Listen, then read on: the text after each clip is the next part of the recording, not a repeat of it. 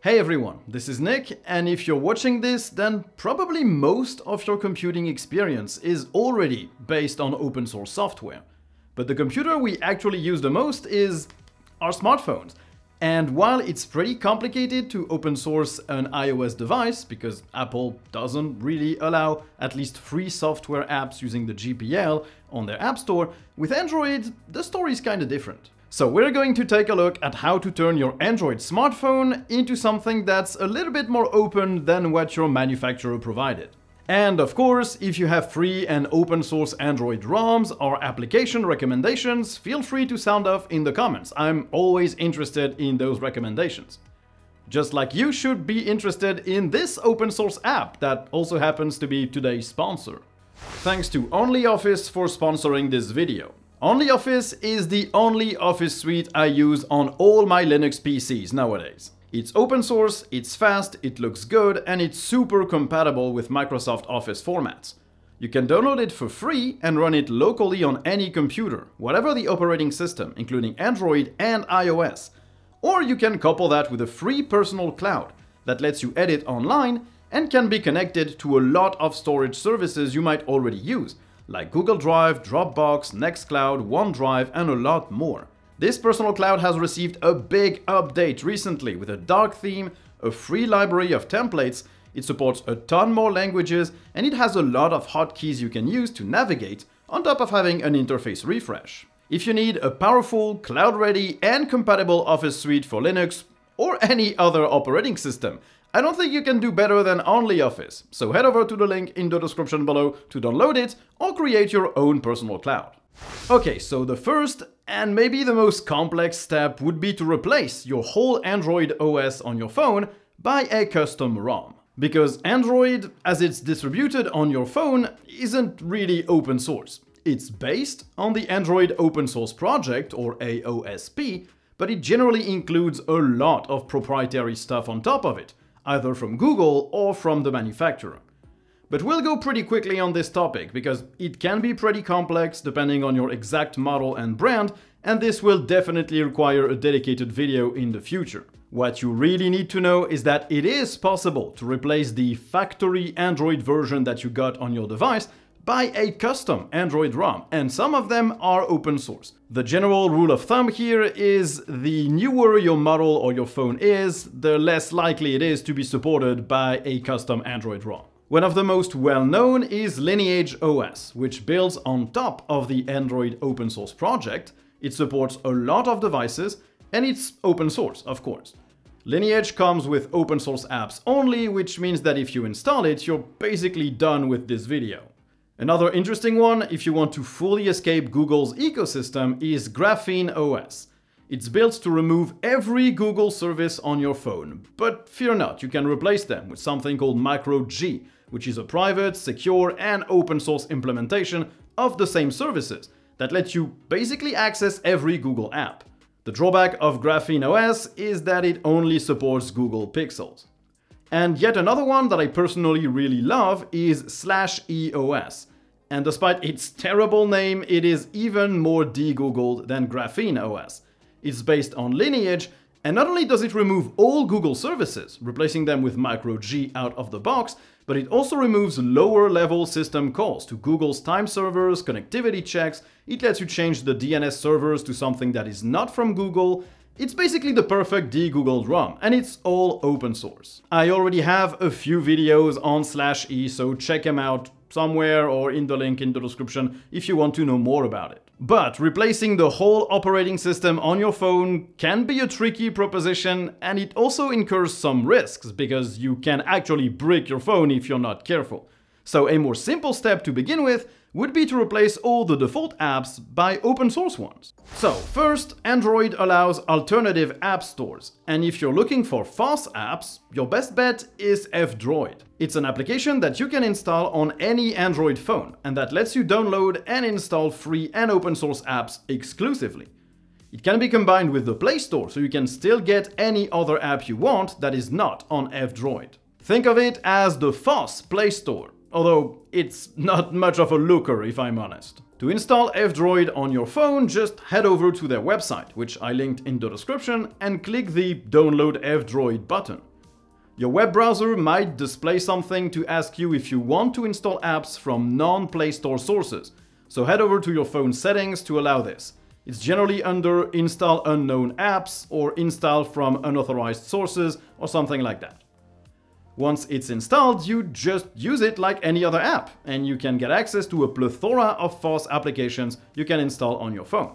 It lets you browse by category, search for specific apps, update these installed applications, and manage them, and it even lets you add repositories, like on your Linux distro. Of course, some of the apps we're gonna talk about here are also on the Play Store, so you can install them from there. But at least now you have a repo of apps that you can be sure are fully open source. So now let's start with mail clients, and the obvious one here is K9 Mail. It does basically everything you'd expect a mail client to do, with IMAP support, dark mode, unified inbox if you have multiple email accounts, per mail account notifications, email signatures, email encryption with OpenPGP, push notifications, and it also doesn't track anything you do, write, or send. It doesn't look like a 5-year-old Android app either, which is nice, and it has a bunch of customization options, like selecting a light and dark theme for specific parts of the app, disabling animations, using threaded conversations or not, setting up a quiet time to disable notifications, and it can even remove the app's user agent from email headers and use UTC instead of your time zone for extra privacy. All that is missing really is swipe actions on messages to delete or archive them, although this is being worked on with a pull request being made a few days ago being ready to ship in a beta. K9 Mail is so good in fact that it's going to be the base for the new Thunderbird Android application, which is no small feat. And of course, if you use Tutanota or Proton Mail, you can also get both of their applications, which are open source and are either on the Play Store or on F-Droid. For web browsers, it's pretty easy. You don't even need F-Droid to install open source browsers and replace the default one. Most Android ROMs that manufacturers ship use either Google Chrome or their own web browser based on Chromium, but they're generally not open source. Fortunately, you can find Firefox, Brave, and a lot more in the Play Store directly, including the DuckDuckGo or Ecosia browsers. You can of course make any of these your default browser in your phone's settings. Hey, what do you want me to say here? You probably already know how to change your web browser on your Android phone, and there are no magical, wonderful choices apart from the ones you already know from your desktop. Did I miss the most important part? Yeah, you're right, the launcher. The launcher is basically how you place your apps on your home screens, how your home screen works, where is your app grid, how you place your widgets.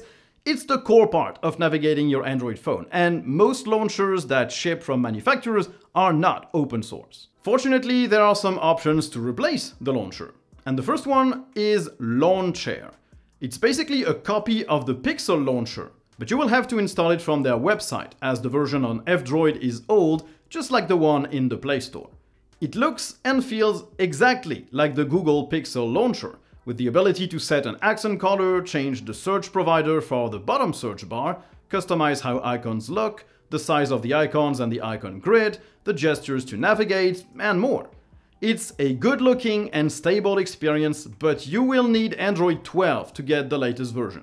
I left a link to their website in the description. Another option is O Launcher, if you want a really super minimalistic launcher with only a few links to most used apps, a daily wallpaper, and a list of applications that only appear by name, no icons. You can choose how many apps appear on the home screen, which apps are opened by a swipe left or right, and that's about it. It's a really great option if you want the most minimalistic experience you can get, or if you want to try and reduce how much you'll use your phone each day. But if you want to use your phone to the fullest, it's definitely not for you. And in terms of open source launchers, that's about all I could find. Basically, all the others just look like they're super old or haven't been updated since 2019 or earlier. Now, for taking pictures, you basically have two really good options. If you want to snap quick pics and videos and you don't care about the settings, the resolution, the frame rate, or any of that stuff, then Simple Camera is for you. It's on F-Droid or the Play Store and it just lets you take a picture or record a photo, enable the flash, change the resolution, and that's about it. It also won't handle all your phone's cameras if you have multiple ones on the back. You either have the front one or the default back one. If you like tweaking every single setting before taking a picture though, you need Open Camera. This one has more settings than your entire phone, letting you pick the file format, quality, enabling HDR, stamping photos, showing angle and pitch lines in the preview, enabling face detection or anti-banding, and a lot, lot more. It lets you change the exposure, the white balance, it lets you pick any of your phone's cameras, it does basically everything. But whether you prefer the very simple experience of Simple Camera, or the complete full-featured Open Camera app, do note that these applications do not have access to the software post-processing that manufacturers add to their own camera applications, which means that even with a ton of customization and settings, your pictures might not look as good as the ones you can snap from the default app. Now, to preview these images, your best option is probably Simple Gallery.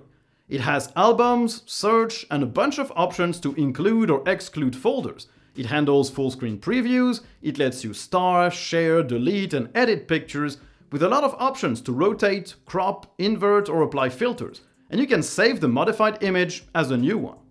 You can also rename, move, show the location on a map, copy the file, hide it, set it as a wallpaper, basically everything you might want to do. What it doesn't do is detect faces or have a map view of all your pictures. I found these are features I do not use or want, but if you do then this probably isn't the right option for you. And you might have noticed that all these simple apps that I talked about kinda look alike. And that's because they're made by the same development team with the same user experience. They have a ton of different applications from the keyboard to the contacts list to the SMS messaging, the phone dialer, the calendar, basically you name it, the flashlight even. So they have a nice little collection and if you want to replace most of your default apps by stuff that still looks coherent, simple apps are really your best bet here. As per map applications, your two best open source bets are OsmAnd for OpenStreetMap automated navigation directions or Maps.me. OsmAnd has travel maps, offline navigation for cars, cycling or walking, and relief maps. It obviously uses OpenStreetMap, which is a very nice database, it has points of interest, you can save places as favorites, it does navigation with turn-by-turn -turn voice guidance and intermediate points, it can reroute you when you go off route, and of course it's open source and free of charge. It doesn't look too bad either, although as with all OpenStreetMap apps, the map layer's colors just look kinda off to me. Maps.me does virtually the exact same thing as OsmAnd, and also uses OpenStreetMap, but it adds travel guides to show you the interesting places to see or visit, and I find its interface looks a bit nicer than OsmAnd. Both are really, really good options that won't leave you wanting. I found that the support for public transportation for where I live is kinda hit or miss on OpenStreetMap, but I don't live in a major big city and they don't communicate this data openly, so maybe that's the issue here. And of course, I can't cover every single application type here. What you need to remember is that if you need a simple applications collection that is open source, Go with the Simple Apps collection. They're really, really good, they look coherent, and if you want to support them, they have pro versions that cost like I think $1 and let you just change the colors if you're not a fan of the orange. And apart from that, there are not that many really good open source apps to replace your default ones, unfortunately. But at least for each category, you have one or two options that are really, really good. And that hopefully should make you interested in looking for more open source applications for your Android phone. So if you're not yet ready to move to a custom Android ROM to completely open source your experience, this might be a good first step. And when you're ready, it might be time to start distro hopping but on your phone, because the world of Android ROMs is pretty fun to explore. My favorite is definitely Slash E, because it's super simple to use, it looks coherent and nice, and it's completely de-googled, with awesome privacy features baked in. But depending on your phone's model, you might find others that suit you better. So, I hope this whetted your appetite for more FOSS on your Android phone. And of course, if you use FOSS apps on your phone or FOSS ROMs, don't hesitate to let me know about them in the comments. I'm super interested to try some stuff out. Just like you should be super interested in today's sponsor. Tuxedo is a company based in Germany and that ships worldwide a whole collection of laptops and desktops that run Linux out of the box. And why would you want that? Well, it just takes the whole complexity of finding a compatible device out of the picture. When you buy from Tuxedo, you don't have to research each individual component because you know that Linux just runs perfectly on them. And if there are some tweaks needed here and there, they have PPAs and repos that just lets you make sure that everything works exactly as intended. They have a big range of devices that should cover every price point and every need. They have good customization options, including custom keyboards, your own logo on the back, and various CPU, GPU, RAM, SSD options. And as I said, they ship worldwide. So if you need a new device and you don't want to have to research online to see if your exact model that you're interested in might be compatible with certain distros, just buy a Tuxedo laptop or desktop and you're certain that it's gonna run.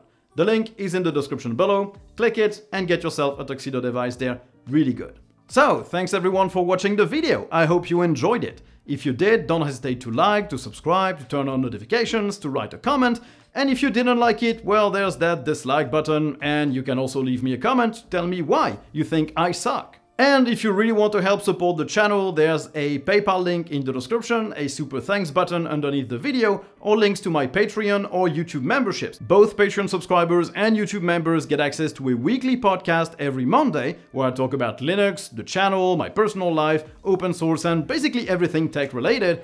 And you also get to vote on the next topics that I'll cover on the channel.